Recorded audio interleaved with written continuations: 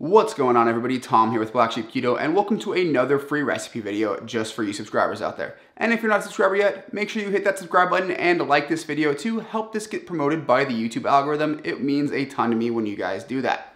Now today we're going to be making a keto snickerdoodle cookie, which if you're not familiar is basically just a cinnamon and sugar coated sugar cookie. They're actually quite delicious and really easy to make.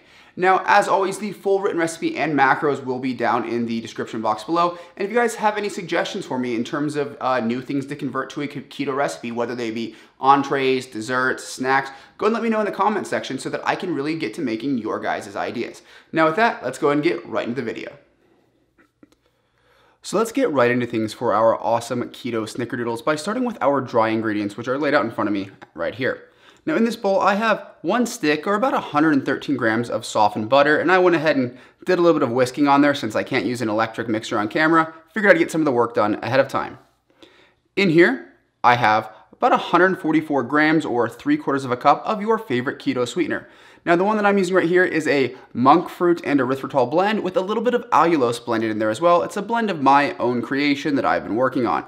People have been asking about using allulose in baking, so I wanted to give you an opportunity. But in this case, you can use pure allulose, you can use Lakanto, whatever you want. Just get about three quarters of a cup or roughly 144 grams of your favorite keto sweetener.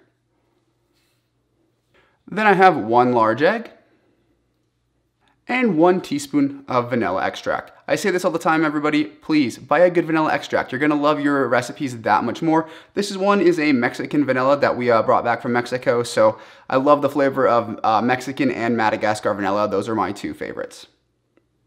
So now we're just gonna go ahead and combine all of this. If you have an electric mixer or hand mixer, uh, go ahead and use it, it works great.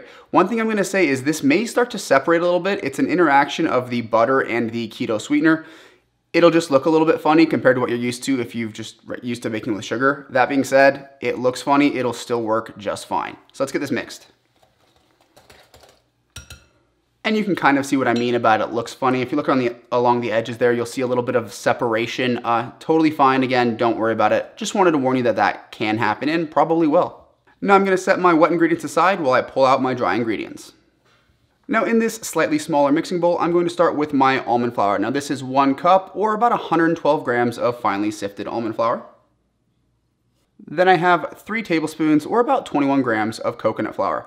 If you guys are familiar with my channel, you know I love blending the two. Give it a try and uh, you'll see why I like doing that. I feel like neither one of them are overpowering and it creates a great texture.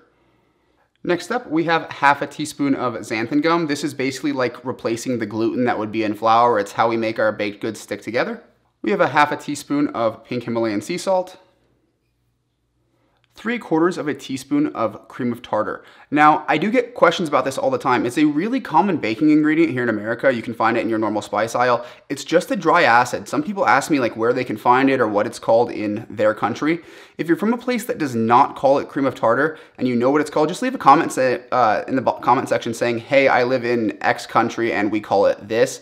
I think that'll help out a lot of people since uh, it seems to be an ingredient that a lot of my international viewers aren't familiar with. I know you guys have to have it, I just don't know what they call it. So anyway, three quarters of teaspoon of cream of tartar. And lastly, a quarter teaspoon of baking soda, not baking powder. This is baking soda. They're not interchangeable. And then we're going to take our whisk and uh, just combine this until everything looks well distributed. Now that we're done mixing our dry ingredients, we're going to slowly add our dry ingredients into our wet ingredient bowl. I like to do this in about three batches and just make sure you whisk it pretty well in between batches.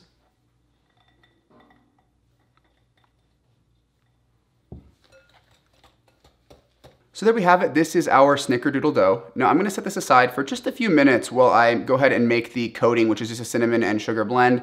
And I'll go ahead and get our baking sheet lined with parchment paper as well. So just let this chill for a minute so that the coconut flour can absorb some of that moisture. And I'll be right back with the next step of this recipe. Well, I'm back and you may have noticed things have changed right here. And now would also be a good time to go ahead and preheat your oven to 350 degrees Fahrenheit or about 175 degrees Celsius. Now on this plate, I have two teaspoons of cinnamon and two tablespoons of your favorite keto sweetener. Just take a fork and mix them together. This is going to be our snickerdoodle topping. Now this recipe can make between 12 and 13 cookies depending on the size of the cookie you're making, but the process is really simple if you've never done this before. Make a ball of dough, roll it around in the cinnamon sugar blend, and then just kind of press it down lightly on the cookie sheet. So let me show you how to do one. As a note, this is going to be a kind of a stickier dough, so you don't apply a lot of pressure to it.